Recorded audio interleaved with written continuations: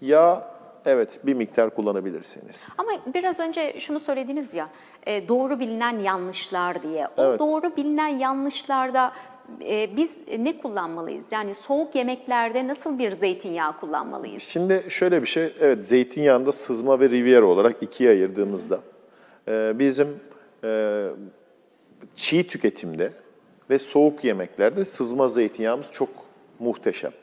Ve Türkiye'de kalite her geçen gün artıyor. İnanılmaz bir boyutta biz dünyada en çok sevilen zeytinyağlar konusunda en öne çıktık Türkiye'de.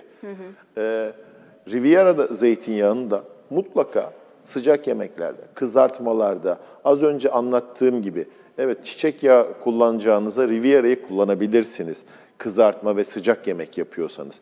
En azından daha sağlıklı bir kızartma yemiş olacaksınız.